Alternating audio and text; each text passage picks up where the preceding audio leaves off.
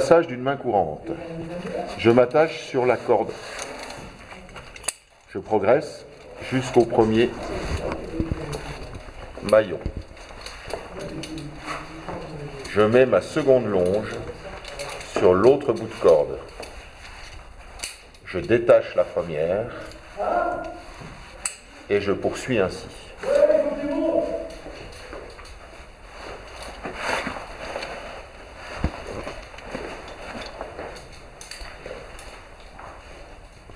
Passe au-dessus du trou, zone à sécuriser.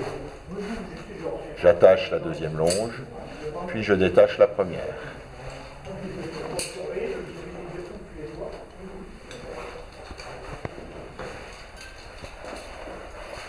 J'attache la deuxième longe, puis je détache la première, jusqu'à arriver sur la zone sécurisée où je peux me détacher.